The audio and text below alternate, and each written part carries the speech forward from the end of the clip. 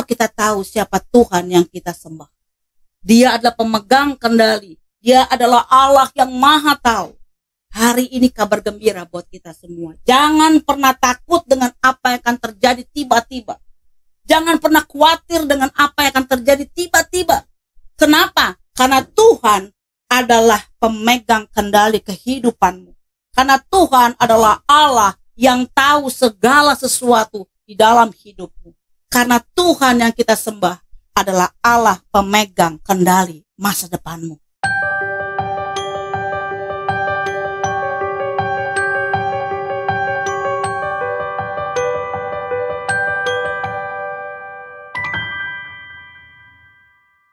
Selamat pagi sahabat yang baik. Kita ketemu lagi dalam program Morning Devotion. Saya berdoa sungguh kita semua sehat, kuat, tetap semangat di saat pandemi seperti ini. Kenapa? Karena hari baru pasti ada berkat baru. Masa depan orang percaya ada di tangan Tuhan. Itulah tema kita hari ini. Firman Tuhan diambil dari Pengkhotbah 9 ayat yang ke-12. Demikian firman Tuhan. Karena manusia tidak mengetahui waktunya, seperti ikan yang tertangkap dalam jala yang mencelakakan dan seperti burung yang tertangkap dalam jerat. Begitulah anak manusia terjerat pada waktu yang malang. Kalau hal itu menimpa mereka secara tiba-tiba. Sahabat yang baik, tidak ada seorang manusia pun yang tahu apa yang akan terjadi hari esok. Tidak ada seorang manusia pun yang akan tahu apa yang akan terjadi di masa-masa yang akan datang. Kalau hari ini kita mendengar bahwa apa yang terjadi dengan manusia yang selalu mereka-reka, yang selalu tebak-tebak, selalu memperkirakan apa yang akan terjadi esok. Bahkan lebih berani dari itu adalah manusia begitu berani meramal apa yang akan terjadi esok, bahkan masa-masa yang akan datang. Sahabat yang baik, apakah yang diramalkan itu pasti terjadi? Apakah yang diprediksi itu pasti terjadi? Apakah yang direka-reka itu juga pasti terjadi? Sahabat yang baik, benarlah apa yang dikatakan di dalam Amsal 27 ayat yang pertama dikatakan bahwa tidak ada seorang pun yang tahu akan hari esok. Tidak ada. Artinya tidak ada seorang pun yang tahu apa yang akan terjadi besok. Kalau boleh saya katakan hari ini adalah jangankan besok. Satu menit ke depan manusia tidak tahu apa yang akan terjadi. Kenapa? Kalau dikatakan segala sesuatu yang ada di muka bumi ini bisa berubah dalam sekejap. Bisa berubah dengan tiba-tiba. Bisa berubah tanpa harus minta izin kepada manusia. Oleh karena itu sahabat yang baik. Dikatakan dalam firman Tuhan atau tema kita hari ini.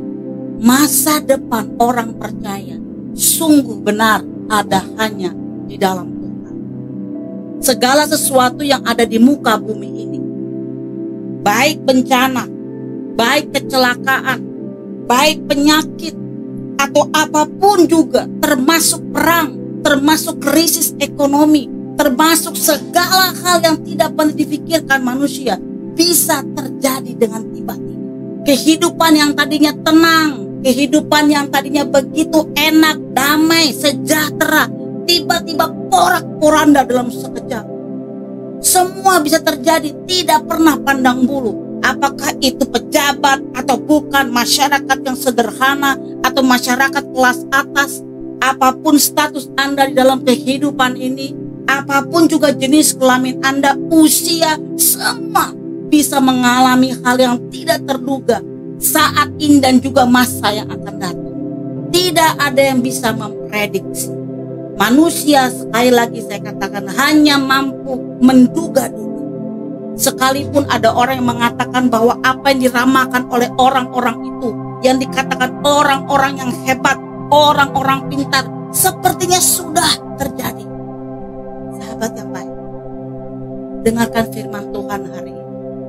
tidak ada seorang pun yang tahu akan hari esok. Kalau kita mengingat akan apa yang pernah Tuhan katakan kepada kita. Tuhanmu tahu kapan engkau duduk, kapan engkau berdiri katanya. Kapan engkau tidur, kapan engkau berjalan. Bahkan Tuhan katakan pikiranmu pun Tuhan tahu. Sebelum engkau memperkatakan sesuatu, Tuhan tahu. Sahabat yang baik, kalau begitu sempurna, Tuhan tahu tentang dirimu. Maka benarlah kalau kita katakan bahwa kita harus berserah penuh.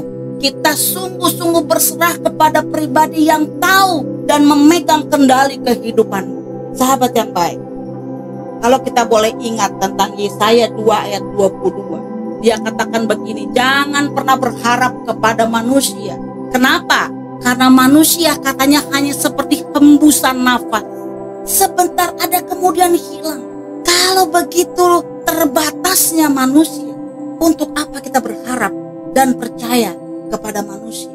Sahabat yang baik, sekali lagi mungkin firman Tuhan ini begitu keras menegur Anda. Jangan pernah berharap kepada manusia. Kalaupun saat ini mungkin di antara kita ada yang merasa bahwa kita punya segala-galanya. Kita punya uang, kita punya karir yang bagus, kita punya status di masyarakat yang luar biasa terpandang. Kita ada di zona nyaman saat ini. Sehingga kita mengatakan bahwa masa depan kita baik-baik saja. Masa depan kita tidak ada masalah. Dengarkan saya pada hari ini. Tuhan bisa buat segala sesuatu yang nyaman itu berubah dalam seketika. Bila itu berkenan menurut Tuhan dan baik buat manusia, maka segala sesuatu bisa Tuhan rubah dalam sekejap. Sahabat yang baik, kalau segala sesuatu tergantung kepada Tuhan, kalau segala sesuatu yang ada dalam kehidupan kita tergantung 100% sempurna, total ada di tangan Tuhan. Bukankah lebih baik kita bertemu dengan Dia? Kita bertanya dengan Dia di dalam doa dan pengenalan firman Tuhan. Sehingga kita tahu apa rencana Dia untuk adalah hal yang sangat benar kalau kita menggantungkan masa depan kita kepada Tuhan yang mengetahui segala sesuatu sebelum kita memikirkan. Sahabat yang baik, kalau kita tahu siapa Tuhan yang kita sembah. Dia adalah pemegang kendali. Dia adalah Allah yang maha tahu. Hari ini kabar gembira buat kita semua. Jangan pernah takut dengan apa yang akan terjadi tiba-tiba.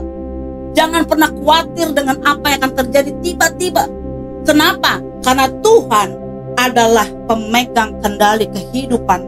Karena Tuhan adalah Allah yang tahu segala sesuatu di dalam karena Tuhan yang kita sembah adalah Allah pemegang kendali masa depanmu. Sahabat yang baik, sekali lagi jangan pernah takut segala sesuatu yang terjadi tiba-tiba. Kalau kita mau mempersembahkan hidup kita kepada Tuhan, kalau kita percaya kepada Dia, kalau kita mengenal siapa Tuhan kita, maka sesungguhnya benar hari ini kita mengatakan masa depan orang percaya sungguh benar ada di tangan Tuhan Yesus Kristus. Mari dekat dengan dia. Mari percayakan hidupmu kepada dia. Dan jangan pernah khawatir lagi. Sekalipun segala sesuatu di depan mata kita terjadi secara tiba-tiba. Mari berserah penuh kepada dia. Kenapa? Karena Tuhanlah yang memegang kendali kehidupanmu di masa yang akan datang. Tetap semangat sahabat yang baik Tuhan Yesus mengasihi engkau.